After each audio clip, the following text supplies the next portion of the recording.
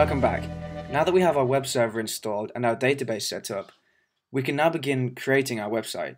I think a good place to start would be the register page, where users can create an account or sign into their existing account if they have one.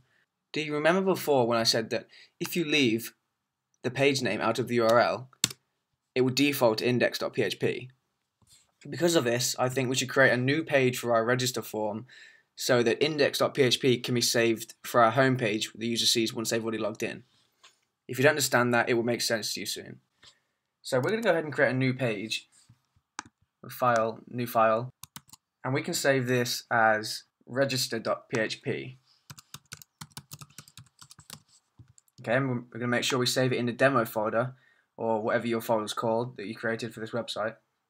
So I'll click save, and here we go this is going to be our register page. So type in HTML, press tab, and it will insert your HTML template. Inside the title, you can go ahead and put whatever you want to. And here we go. We're ready to begin creating our register page.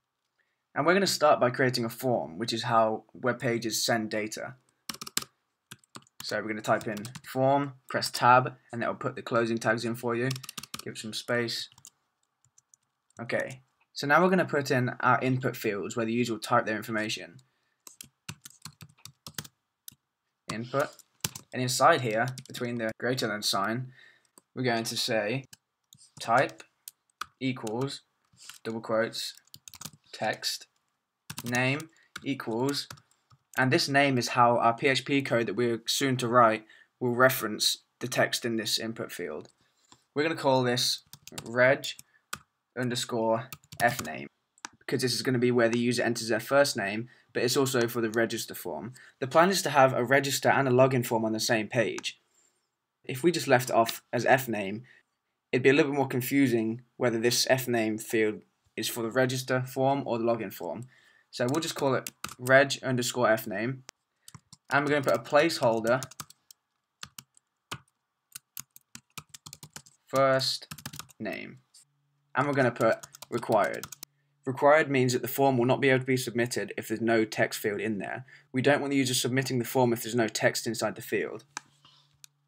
So we can copy and paste this now and just change this to L name for last name and we can change this to last name right there. So we change that to L name, that to last name. Now if we save that page and then we access it, remember we have to access the page we just created, so red just stirred up PHP. We'll see the two fields we just created, first name and last name. Okay, it doesn't look very nice at the moment, but we can get to styling that soon. So let's start by making this last name appear on the line below, just by putting a simple break tag in there. You'll see that it appears on the line below. Now we're going to put another line break below, and then we're just going to copy and paste this and put it underneath. We're going to change the type of this one to email because this is where the users will enter their email. And we can change this f name right here to email. So it now says reg email. Change this to email. And essentially doing the same again with slight differences. Email this one's going to be email to and this one is going to say confirm email and we're going to do this one more time. So copy two more, put it below with the new line break as well. This one's going to be type password, reg underscore password, password. Next one down is password again. This one's going to be password 2. And we can just change that to confirm password. Now if we refresh the page and see what we have, we have a bunch of fields where users can enter all their information. Okay? And one more thing is we're going to put another line break and put another input field in there. This is going to be type equals submit, name equals register button, value will be register.